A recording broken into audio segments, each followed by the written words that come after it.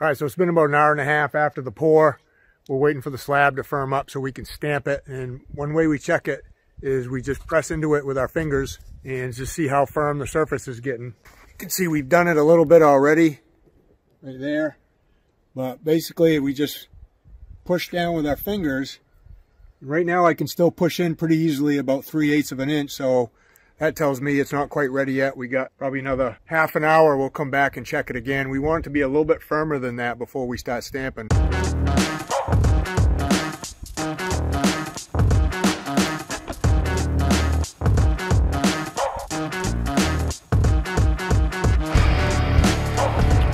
All right, so it's getting close time to stamp. Um, it's been about almost two hours after the pour.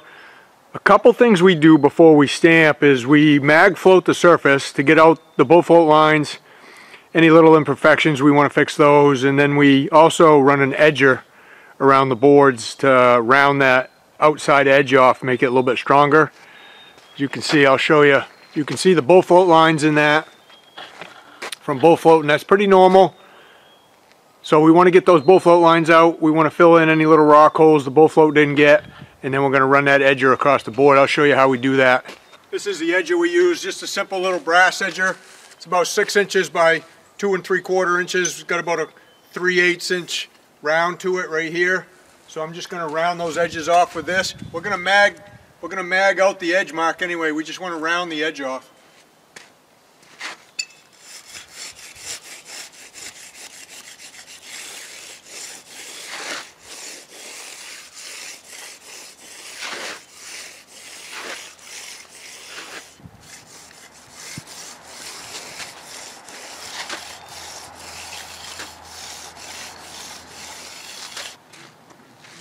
Right, so we got the edges all edged. Now we're gonna use a funny float, mag out the surface so we can get all the float lines out.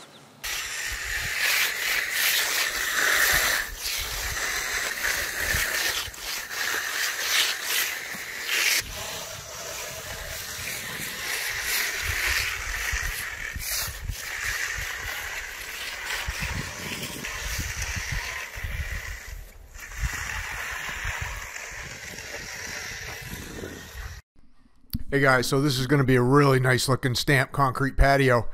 Right now, Darren, Luke, and I are just getting it ready for stamping. It's the concrete's firming up, the sun's hitting it pretty good, and we're all just kind of mag floating the surface out.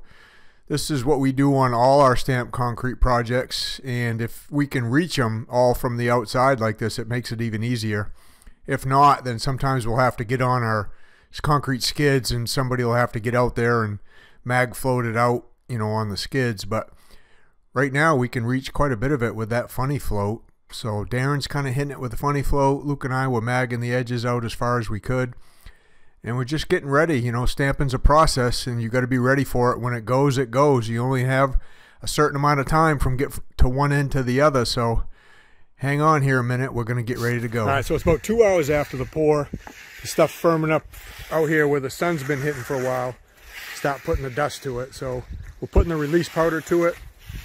And again, we use the release powder to keep the stamps from sticking to the surface. And it also adds a secondary antiquing color to it. And this is basically what we what we do is we just use a brush and we just powder it on. Yeah, that's one thing. Oh, look at that piece of poly come flying off the house. It's a little windy out here today, which makes throwing that powdered release even a little bit trickier. You definitely got to wear a mask, but that stuff can be quite messy. You know, it's always a debate. Do we want to use the powder today or do we use the liquid release with the powder tint in it to color it? Um, we just decided to use the powder on this one today. Some people like the look of the powder afterwards, and some people, you know, just prefer a little less messy and use the liquid. But either way, we do both ways. We kind of like both ways just kind of depends on what we're doing that day is making the decision on what type of the release we'll use. But Darren was finishing up magging that piece in the shade. That piece in the shade up by the house isn't curing up too good. So that's gonna that's gonna cause us to have to wait a little bit on that piece. But in the meantime, the sun's been beating on this other edge here and Luke and I are coming down this edge. Now we're using the rock, just the rock texture stamps today. These are one of the easiest stamps to use if you're first starting out stamping. They don't really have any any pattern you need to go by. You can turn them any which way you want. You can you can turn them diagonal. All you really need to do is just overlap them a little bit and then just watch yourself as you as you pull one up and move it. You know, just make sure you're not leaving any lap lines in the previous one you just pulled up. So we got a couple different types of this stone texture. We have the big red ones there, then we have a, little bit smaller blue ones. And that just allows us to have more stamps on the slab at once. Just makes it a little bit easier for stamping. I mean, you could really, you could almost do this with just two of those red ones if it was, if you were doing it yourself. But the more you have, the more you can lay out at once. A little bit easier it is to get the thing stamped. And we, we like stamping, you know, generally with three guys, it makes it pretty easy. Two guys can kind of focus on doing the stamping part. One guy can kind of focus on doing the edges and, you know, just making sure the guys on the slab have what they need. If they need more release, you can get them more release. Things like that. It goes pretty quick with three guys that know what they're doing. But two guys, two guys could definitely do something like this on their own. If, if you're thinking of stamping concrete, you know, I've got a course in the Concrete Underground, which I'll have a link down below for. You know, you can join that Concrete Underground, and in there is my Stamp Concrete course that'll teach you step by step just how to do this stuff if you've never done it before and you want to learn. Or if you do concrete already but you don't do stamping, it's a nice add-on. Um, you can really make a lot of money stamping concrete if you're good at it because you can get probably eight or ten times more per square foot to do stamp concrete than you can just doing regular, you know, broom finish patios and stuff like that. So you can check that out if you want. You can see I'm up there now on the shade with my knee boards, kind of mag floating that out. We had to let that set up a little bit longer, but I want to get it I want to get it before the guys get any powdered release on it. So I got to get it magged out before they broadcast that release because you can't, once you broadcast that release on the slab, you can't mag float that stuff in.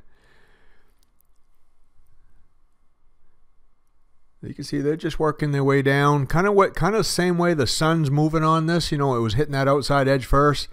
And then as the sun gets higher, the shade gets closer to the house. So that's kind of the same way the slab is setting up. So that's kind of the same way we're stamping it too, is just in the same pattern the sun is hitting it. And it's work everything's working out pretty good. The wind died down a little bit, so it's not too too dusty.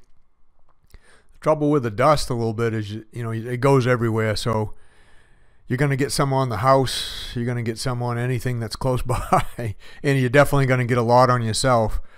But it does wash off afterwards with Dawn dish detergent and if you get some, like let's say you get some on that trim around the door, around the window, you can take those Clorox wipe wiping, you know, pads or they come in the little jar, those Clorox wiping pads you usually have in the kitchen, and those will wipe that dust right off and clean it right off really easy.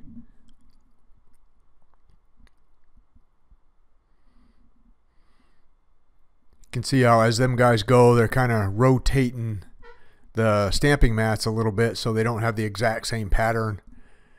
Every single time they lay it down they'll rotate it 90 degrees or 180 degrees and just keep changing that up. And then the the blue textured stamps have a tiny little bit different texture than the red ones do too so that helps to you know keep working them in between a little bit here and there. And that helps break up any type of randomness you might you might get on a stamp pattern we're going to end up, we'll come back. So we'll do, we'll stamp this today. And then, you know, the homeowner, Jim, actually got it all formed up. Like I said in the beginning, he did a really good job forming this. He put it, he put up the two by eights. He put in the two inch styrofoam. He, he tied the rebar. He set it all to grade. He got the slope on it. So that kind of saved us a lot of work. That saved us, you know, one day of work from showing up and getting it prepped. And then we'll come back we'll come back the next day, usually after stamping, and we'll get it saw cut and washed. And you'll see a little bit of that right at the end of the video. You'll see us kind of washing it. But it's typically it's typically like a at least a three day process. You know, the first day is is the is the prep work, the forming, the getting it all ready to go. The second day is definitely the pouring and the stamping. And then actually four days. The third day is the sawing and the cleaning. And then we usually, if it's a nice day out, if it's in the summer, if it's uh, you know it doesn't rain in between, we can usually come back the fourth day and just squirt on a couple light coats of sealer just to help protect it. And then once it does cure out, three or four weeks from now, you can come back and spray another coat on. But you don't want to get too much sealer on too thick too early, or that could that could make the sealer fail. But we we do like to get a little bit on just to help cure the slab a little bit and to help protect it from any other type of dirt or debris or if people are working around it, you know, just protect the surface a little bit. We ended up having to wait a little bit for the shade part, so we you can see where right where the sun in the shade stopped, it got quite a bit softer there in the shade. So we just stopped stamping, uh, probably waited 20 or 30 minutes, and now we're just going down this edge in the shade and it's really only taken. I'm the lightest one out there, so um, they we decided that I would go out down and do it, so the guys wouldn't leave any footprints or anything, and you know we wanted it. We didn't want too much time in between, so I'm jumping on there with the stamping shoes, and I don't know, I'm probably 40 or 50 pounds lighter than Darren or Luke, so that helps a little bit too, getting the edges rolled in advance with the stamp roller. And then just blending in the stamp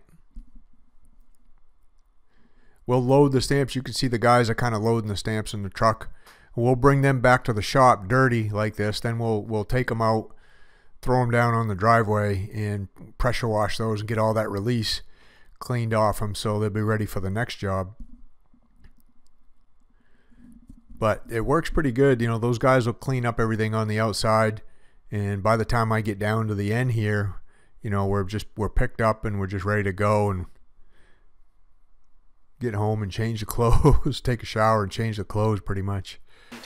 It almost goes, it almost goes to almost like... All right, so we got it finished up. Like I said, we had to wait for the shade for quite a while. But sometimes that's just what you got to do depending on where the sun is. You can see it's quite it's quite a messy process. So you're going to want your mask, your gloves, and some hopefully some old clothes, but they're going to get messed up. We usually just clean up with Dawn dish detergent and water. All right, so here we are the next day cleaning up we're getting, you know, we'll buzz it with the pressure washer, get most of the release off first with that, then we'll we'll mix up some Dawn in a five gallon bucket and just kind of flood it, almost like just basically like washing a car. So if you want to learn more about it, check out the Concrete Underground. The link for that will be down below. Thanks for watching, guys. We'll see you on the next one.